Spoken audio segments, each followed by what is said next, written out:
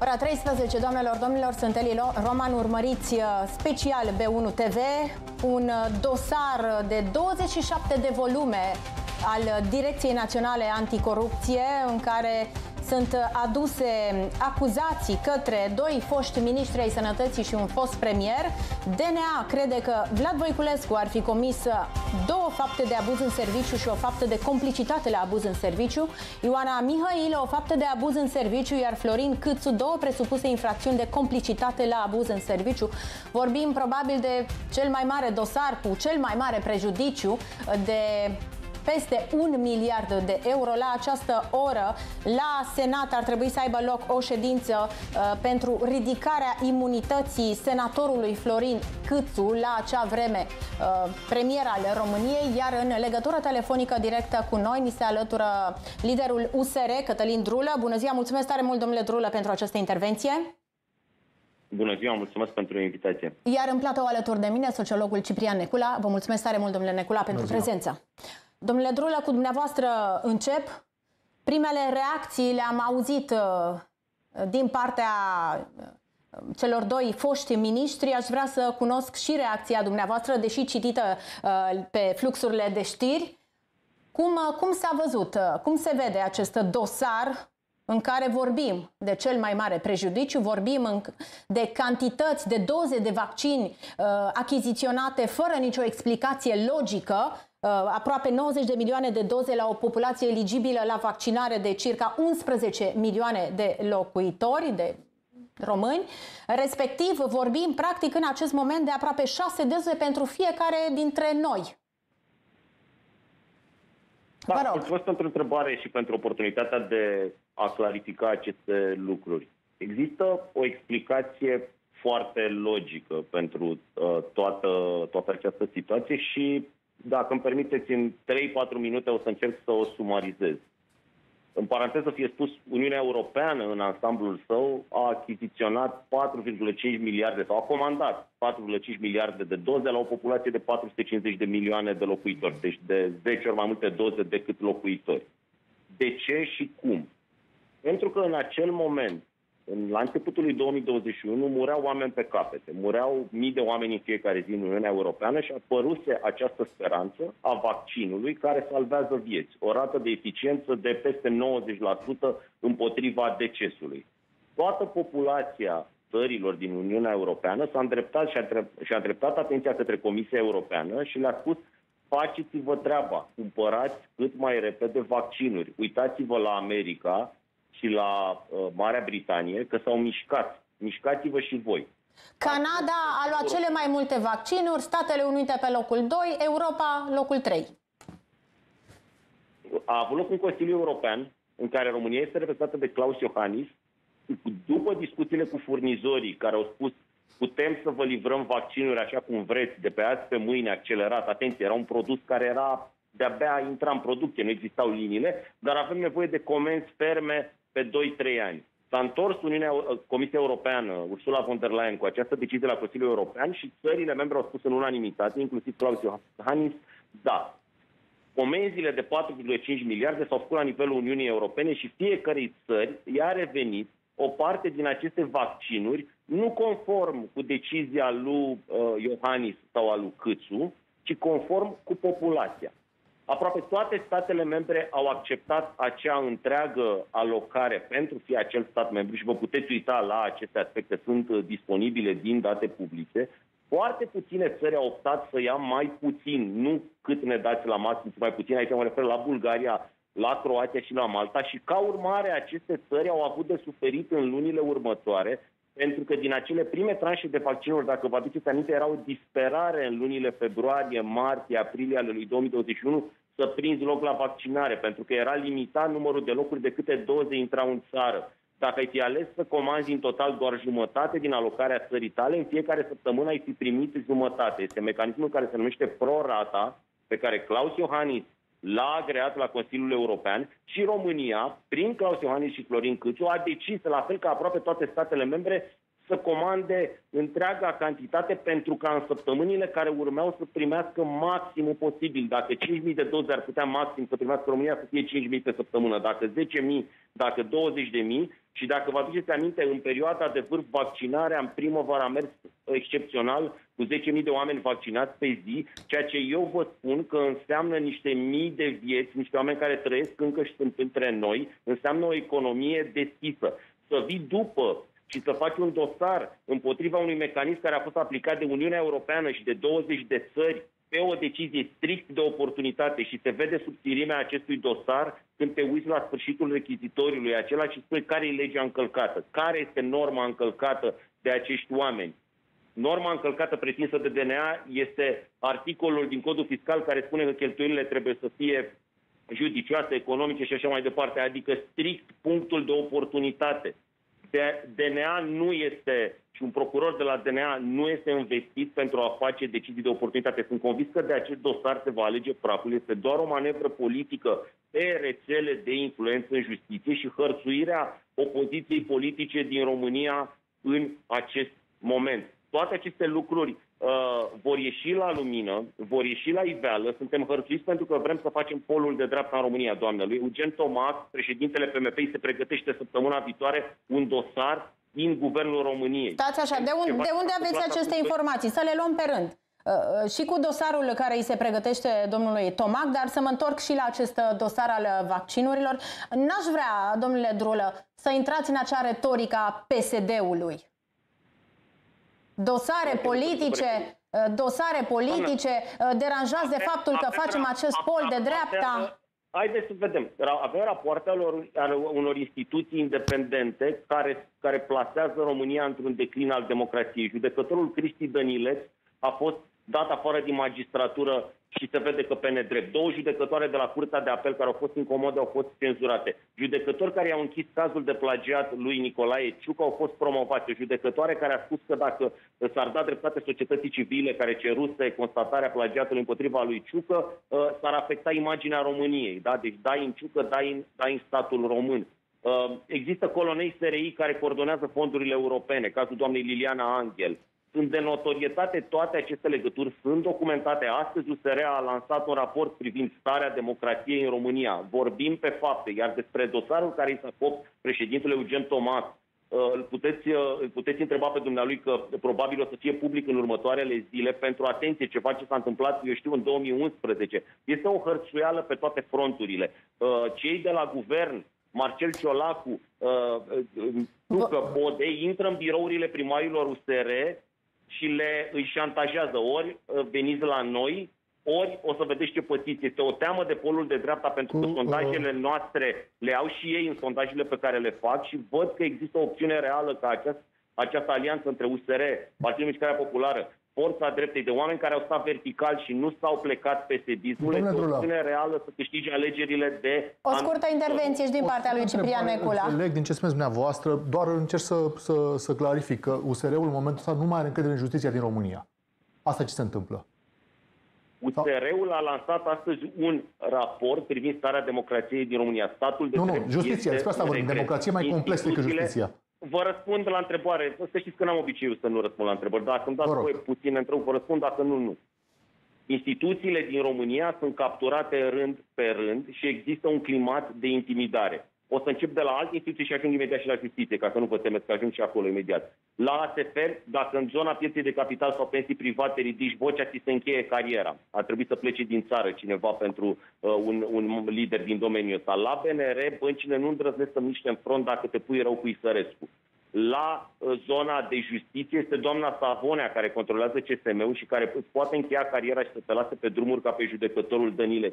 Da, există ingerințe ale politicului în zona justiției, există dosare făcute la comandă, ca al colegului meu Dan Barna, care patru ani de zile a fost hărțuit și căruia, și căruia, domnule Drulă, acest procuror care se ocupă și de dosarul vaccinurilor, da, uh, și uh, uh, decorat, medaliat de către Ambasada Statelor Unite, Andrei George Matei, i-a închis da, dosarul domnului Barna. Eu nu știu dacă acest procuror sau alt procuror a Barna, care procuror... Păi vă spun eu că este același. Eu pot să vă spun că domnul Voineag a participat în închiderea dosarului de plagiat al lui Ciucă și că au confiscat documentele ca să nu poată exista o anchetă civilă și că cel mai vizibil plagiat de pe luna al unui om din România n-a putut ajunge uh, la concluzia uh, logică într-un sistem civil sau de instanțe. Acum ne ducem la domnul Voineag, la domnul Ciucă, să rămânem... Să rămânem... este procuror. Da, știu cine este, știu cine este, dar să rămânem la dosarul în speță. Dar... Toate lucrurile acestea sunt legate. Sistemul de justiție din România, și o spun oameni care sunt în interiorul sistemului de justiție, o spune societatea civilă, o spun la rapoarte, are parte de ingerințe uh, politice. Iar DNA-ul, prin ceea ce face acum, este un abuz fără margine al acestui procuror pe o decizie de oportunitate. Eu nu mai spun că nici măcar nu este luată de colegul meu Vlad Voiculescu, că nu mă, nu mă interesează că a luat-o Câțu sau că este într-un guvern din care am făcut da. parte. Este o decizie pe care au luat-o 20 de state membre să comande numărul de vaccinuri alocate de UE pe baza populației. Nu are dreptul un procuror să spună că e bine sau că e rău, că s-au salvat niște vieți. Dacă decizia ar fi fost cea pe care o dorește acel procuror, o mie de oameni ar fi fost morți în acest moment în România. O mie de oameni care trăiesc și dacă există un abuz totuși. Care sunt mama sau bunica cuiva. Ăsta este un abuz. Bă, da, dacă există un abuz totuși și, și da, justiția demonstrează acest lucru, uh, uh, domnule Drulă, pentru că dumneavoastră acum judecați un caz. Cred că e treaba justiției să facă acest lucru, nu a dumneavoastră. Sigur că vă colegii, de înțeles uh, justiția, procurorii, sunt oameni și câteodată sunt corupți. Da? Nu există sfinți în nicio instituție. Judecătorii... Câteodată societăți întregi, lăsați-mă să vorbesc, vă rog, câteodată societăți întregi sunt acaparate de un sistem cum este cel din România, în care influența serviciilor secrete este din ce în ce mai mare. Să știți că adversarii lui Putin, cea mai mare parte dintre ei nu au dosare politice, au dosare de drept comun. Li s-a găsit de ceva neregulă pe la firma lor și au luat 10 ani de pușcărie. Da? România este o țară în care democrația alunecă. Două partide, PNL și PSD, au capturat statul și nu suportă concurența politică nu suportă că poate exista o variantă care să le strice jocurile anul viitor. S-a mai întâmplat în România și am spus-o în această dimineață la o conferință, da, e mai rău ca pe vremea lui Năstase dintr-un singur, uh, din, cu, cu un motiv foarte important acolo. Pentru că acum avem războiul din Ucraina lângă și, din păcate, partenerii noștri și clubul din care facem parte, Uniunea Europeană, au atenția în altă parte. Și câteodată poate că ar trebui să fie un pic mai atent la ce se întâmplă cu statul de drept în România. Statul de drept este călcat în picioare Democrația din România este în pericol și cine este din rând este pedepsit. Acest dosar nu va ajunge la nicio finalitate. El nu este despre USR, el nu este despre Vlad Voiculescu, Câțu sau mai știu eu cine. Acest dosar este un semnal că dacă cineva vrea să se apropie de polul de dreapta, să se mai gândească, pentru că băieții au butoanele. Da, și totuși vorbim de un dosar, domnule Drulă, care a început uh, acum 2 ani de zile. Știți asta, nu? De pe uh, vremea domnului Bologa uh, și uh, nu e ceva nou. Adică declarațiile chiar și ale lui Vlad Voiculescu de la acea vreme era bun, foarte bine să, să se aplece asupra acestor achiziții, să fie făcute analize, investigații pentru a vedea cum s-a cheltuit banul public, pentru că în fond despre asta vorbim. De un miliard de euro bani publici, cum au fost cheltuiți? Poate că aceste contracte nu au fost bine întocmite. N-am avut clauze în care să putem să restituim niște vaccinuri pe care nu le mai folosim. Vedeți cazul Polonia. 60 de milioane de vaccinuri nu vrea să le mai plătească. Există o clauză, au vorbit și au stabilit din clar. să vă răspund, mă lăsați să vă răspund. Sunt niște întrebări foarte bune și vă mulțumesc pentru ele. Aceste contracte sunt întocmite la nivelul Comisiei, la nivelul Uniunii Europene. Și România a agreat la Consiliul European, este parte în ele prin președintele Iohannis. Principalul promotor și este un lucru bun. Acum arătăm la domnul Iohannis, nu? Domnul Voiculescu arată spre nu. domnul Câțu, dumneavoastră arătați la domnul Iohannis. Nu, eu spun, dacă mă lăsați să termin, da? spun că faptul că, că Claus Iohannis a susținut vaccinarea din România și că a participat în aceste mecanisme, e un lucru ok. Deci știți că orice om mai face și lucruri ok, mai face și lucrurile. În privința asta a fost în regulă. Deci acum, dacă uh, și asumă să iasă să spună lucrurile pe care atunci uh, le susținea, eu nu-mi schimb uh, părerea după cum uh, bate vântul. Haideți să vorbim despre acest miliard de euro. Este o gogoriță cât casa și arată nivelul de fabricație al acestui dosar. Este luată din punctajele PSD care mestec acest miliard uh, de, de 2 ani de zile. De ce? Un miliard este, nu este valoarea vaccinurilor care au fost comandate de România și ar fi fost distruse, să zicem pierdute. Apropo, asta e un lucru care se întâmplă în fiecare zi, că întotdeauna comenzile medicale sunt mai mari decât uh, necesar și există uh, proceduri de distrugere a celor care expiră. Dar lăsăm asta la o parte. O mare parte din acele vaccinuri au fost revândute. Chiar de domnul Rafila, căutați declarațiile. Sunați-mi dumneavoastră și întrebați... Nu doar revândute. România a fost în stare chiar să doneze, deci n-a avut nici probleme de uh, cash. Am donat, nu neapărat vândut, revândut să mai Aia acoperim. A, am donat Coreei de Sud chiar atunci, în 2021, mai spre, după ce trecuse valul, valul 2 sau 3, nu mai mi-aduc aminte numerotarea, de vaccinare în vară, am donat Coreei de Sud o acțiune care are o componentă puternic uh, diplomatică și de, de solidaritate. Există un mecanism, tot mecanismul de contractare este făcut la nivelul Uniunii Europene. Oamenii ăștia care acum ale căror nume sunt terpelite sunt exact la fel de nevinovați, că nu o să le fac plăcerea să spun vinovați, ca toți, ca ministrul de sănătății din, sau al finanțelor din Germania, din Franța sau ca cei de la Comisia Europeană. Există un principiu de management al crizelor care se numește no regret. În momentul în care ești într-o criză, mai degrabă punând interesele de acum și salvarea unor vieți și eu vă spun încă o dată, dacă s-ar fi făcut ce vrea domnul de la DNA, dar din fericire nu decide el, o mie de oameni față de momentul în care spunem acum ar fi fost morți. Asta este o realitate medicală a meritat să salvăm 1000 sau 5000 de vieți și să deschidem economia mai repede, pentru că nu este vorba despre numărul total. V-am explicat și vă mai spun o dată și o să spun de câte ori este nevoie. Dacă nu comandai alocarea corespunzătoare țării tale și să spunem că făceai mecanismul de opt-out pe care îl vrea DNA și comandai doar jumătate totalul, primeai în săptămâna următoare și în fiecare săptămână, când nu erau vaccinuri suficiente, atunci în februarie, martie, aprilie, mai, jumătate. Pentru că se distribuiau... E, e, e un dosar, e un dosar stufos, domnule Drulă, cu mult timp pe care ar trebui să-l parcurgem. Um, scrise acolo negru pe alb exact de la fiecare furnizor câte vaccinuri, ce valori au fost plătite. Vă invit să lecturați că au apărut uh, pe surse aceste informații. În finalul acestei intervenții vreau să-mi spuneți săptămâna viitoare uh, cum vor vota parlamentarii USR pentru pentru sau împotriva ridicării imunității senatorului Florin Câțu? Ca în orice caz de genul ăsta o să votăm uh, pentru, pentru că noi nu credem în imunitate. Adică credem că fiecare cetățean trebuie să răspundă uh, la fel legal, fără să fie protejat de un, uh, un mecanism special. Imunitatea parlamentarilor trebuie să fie pentru declarații și pentru libertatea, libertatea cuvântului uh, parlamentarului. Aici nu există, nu există niciun dubiu. Iar în privința candidaturii lui Vlad Voiculescu, Făcând așa o analogie la, la doamna Lasconi, imediat într-o oră ați ieșit și ați spus că nu va mai fi pe listele USR. În cazul de față se fac aproape 24 de ore și înțeleg că îl mențineți? Vlad Voiculescu este un om care a muncit trei luni de zile, atât a fost ministru, cu dedicație pentru a salva viețile oamenilor, un om cistit care este hărțuit de un sistem mărșav. El a devenit în momentul acesta un simbol al unei lupte cu un sistem suntem 100% în spatele lui, știm că vor să ne ia pe rând, v-am spus că urmează Eugen Tomas, probabil și alții dintre noi, și am o veste proastă pentru ei, nu vor, reuși, nu vor reuși oricât încercă să ne ia unul câte unul și să ne transmită uh, mesajul de a sta potoliți. Vom câștiga alegerile de la anul, românii văd prin această perdea de fum înțeleg și partenerii noștri externi, este prea cusut cu, cusută cu ață albă acest dosar fake pornit de la o eroare logică majoră, indiferent de 200 de pagini în care se repetă niște date, așa cum spuneți, uh, cifre, plăți pentru vaccinuri, niște lucruri absolut banale, pleacă de la o eroare logică fundamentală care și, uh, cum să spun, și de pe scaun procurorul care ar trebui să uh, supervizeze, procurorul șef ar trebui să o vadă și să fie, să, să fie oprit acest lucru. Este o chestiune fundamentală de drept. Eu știu că sunt oameni în sistemul de justiție care se uită la mine acum și care mă aud. Celor cinstiți le spun că le respect munca, îi admir și aud de acolo, de unde sunt ei, că n-au voie să vorbească, cât de șocați sunt de această măgărie.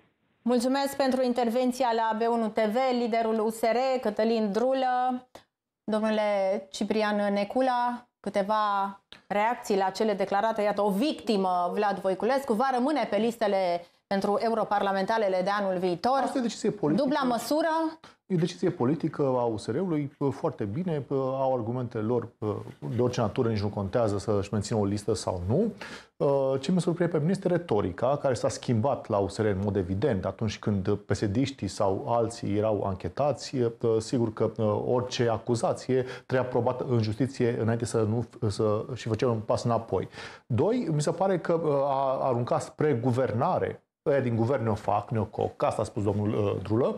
Uh, nu știu dacă e relevant, pentru că capitalizarea nu este la PSD și PNL atât de mare, cum este în extrema dreaptă, la uh, cei de la Aur și Șoșoacă, care urlă și v-a spus noi că hoții, că vaccinul, că botnița, că nu știu ce. Deci, practic, uh, nu cred că are dreptate domnul Drulă și mai e ceva. Abuzul în serviciu pentru care s-a acuzat acești oameni a fost în ordonanța 13 principalul obiectiv, dacă vă amintiți. Pentru asta s-a protestat în piață și USR-ul s-a născut și s-a consolidat cu asta. Deci, uh, da, cel puțin o schimbare de retorică, dacă nu cumva dublu standard.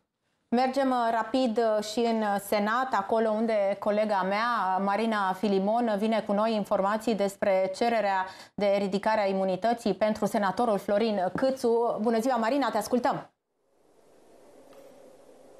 Bună ziua, Eli, și bun găsit tuturor. Într-adevăr, cererea DNA de ridicare a imunității senatorului PNL Florin Câțu a ajuns la Senat, la birou permanent al Senatului, care s-a încheiat de curând. Am avut și o primă reacție din partea domnului Sorin Câmpeanu, care a spus că a fost ceva mai mult tehnic. Astăzi, miercuri, se va primi raportul, raportul care va fi trimis în uh, plenul Camerei Deputaților. De menționat este că miercuri va avea loc și plenul. În acest context amintim faptul că Uh, domnul Ciucă a spus că are sprijinul și îndeamnă toți senatorii PNL uh, să voteze în privința ridicării imunității uh, lui Florin Câțu.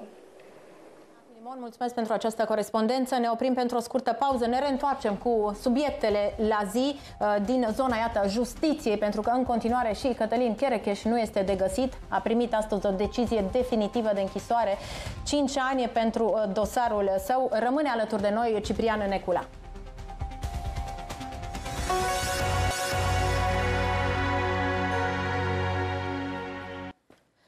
Am revenit în direct, domnilor, domnilor. Știrea zilei vine dinspre, uh, iată, decizia pe care a primit-o primarul municipiului Baia Mare, Cătălin Cherecheș, condamnat definitiv în această dimineață la 5 ani de închisoare cu executare, în dosarul în care este acuzat de luare de mită. Uh, de altfel, uh, polițiștii l-au căutat la domiciliul său, la primărie, nu l-au găsit în această dimineață. Este dat deja în urmărire generală Fotografia acestuia este postată pe site-ul Poliției Române la rubrica Persoane urmărite.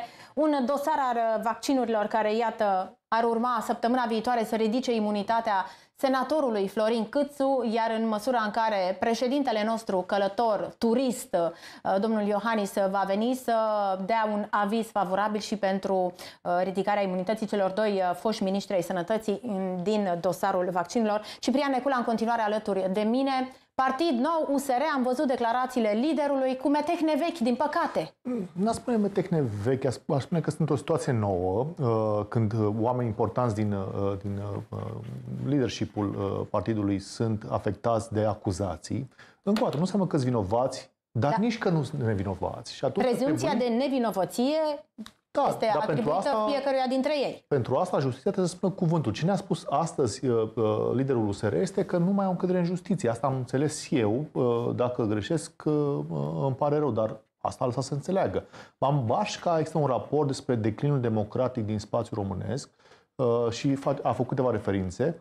Sunt curios să văd și criteriile și modul în care au evaluat chestiunea asta. Am auzit câteva, dar uh, le-aș pune la, mai degrabă într-o zonă subiectivă decât una obiectivă a interpretării democrației românești.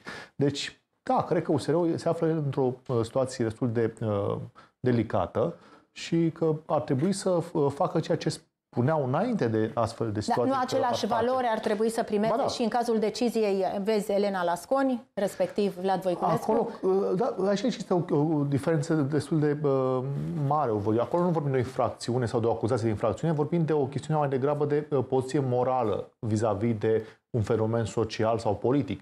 Uh, aici vorbim de o acuzație care vine din partea uh, procuraturii sau uh, DNA-ului, spunând liderul USR că e un dosar fabricat.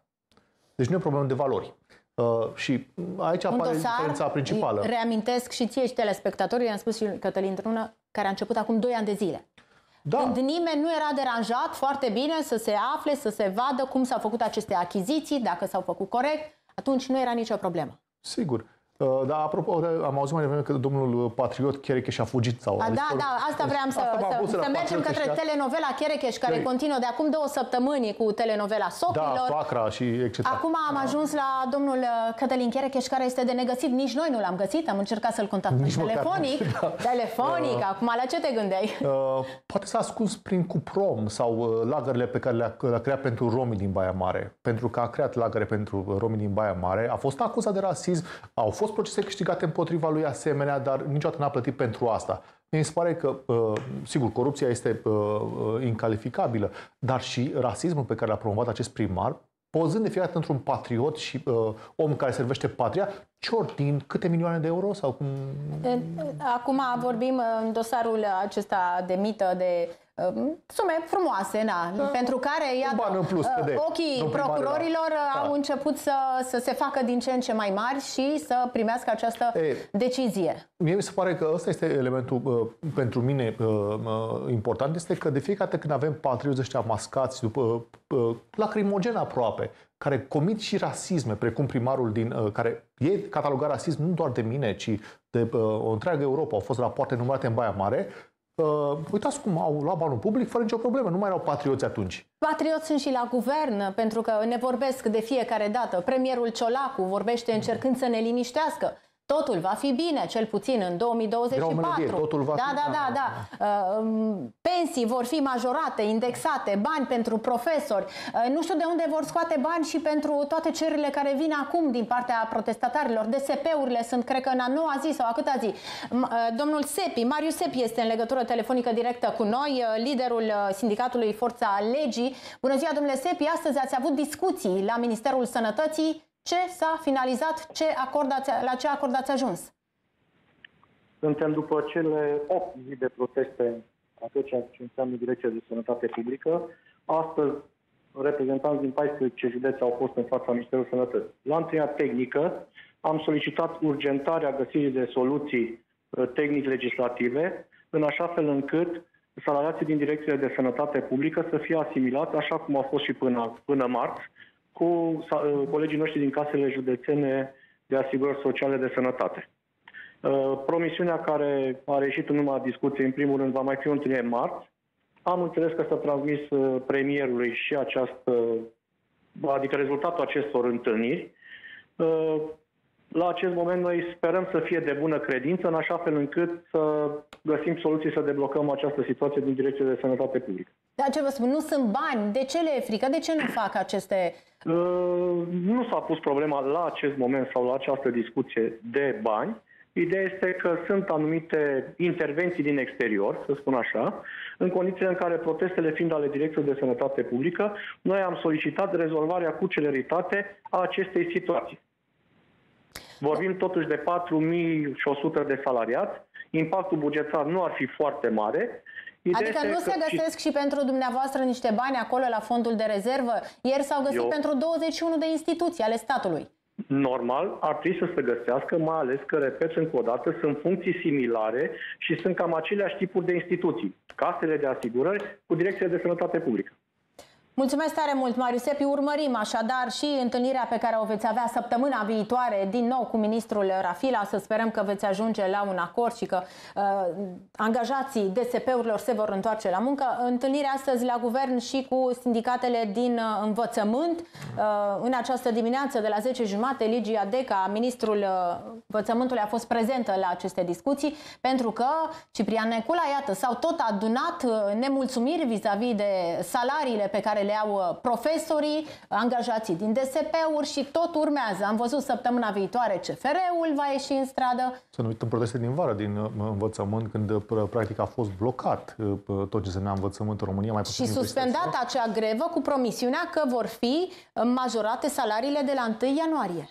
Din câte înțeleg, nu sunt economist și uh, nu e domeniul în care mă pricep cel mai bine, dar înțeleg că trecem într-o criză semnificativă acum de uh, a plătit tot ceea ce trebuie să plătim la nivel guvernamental și toate măsurile care uh, sunt uh, prevăzute de către guvern sunt menite să contribuie cumva la o echilibrare. Dar amânarea e parte din acest proces atunci când poți să amâni o plată. Deci le doresc succes tuturor. Nu cred că se va întâmpla mare lucru decât dacă uh, pun presiune în continuare pe autorități. Pentru că s-a demonstrat că, din păcate, doar asta aduce cumva o potrivă decizie și aia amânată și după care renegociată. Doar că e un context acum uh, ușor mai sensibil, având un super an electoral 2024 uh, da? în față, căruia va trebui să le facă față clasa politică, guvernanții noștri și să răspundă tuturor acestor cereri cu, ok, dacă nu o promisiune, chiar cu punere în practică a unei majorări de uh, a le respecta dorințele parte dintre ele. Da, nu vremuri, vremuri interesante, tulburi și chiar friguroase uh, se anunță atât la nivel local. Uh, vorbim după pauza de publicitate, doamnelor, domnilor, jumătate din țară este sub cod portocaliu și galben de ninsor și viscol, începând de astăzi. Meteorologul de serviciu va fi alături de noi.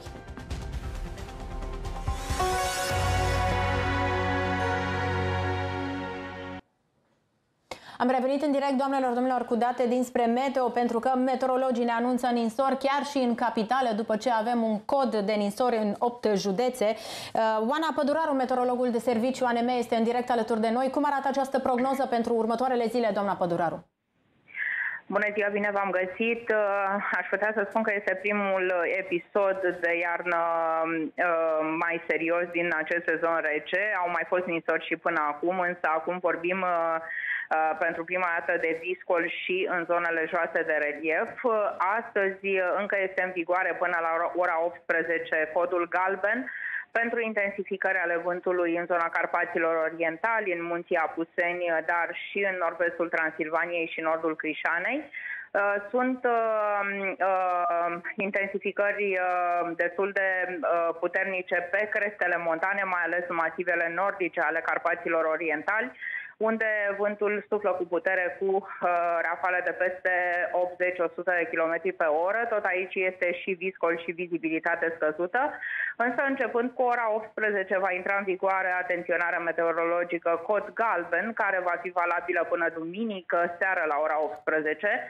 Uh, pentru cantități importante de apă în partea de sud și de sud-est a țării. Ne așteptăm să se depășească prin acumulare 25-30 de litri pe metru pătrat și pe arii restrânse chiar 40-50 de litri pe metru pătrat. La început vor predomina ploile, însă treptat, uh, mai ales în noaptea de sâmbătă spre duminică și în uh, cursul zilei de duminică vor fi uh, precipitații solide uh, sub formă de lapoviță și chiar ninsoare. Mulțumesc tare mult! În cursul...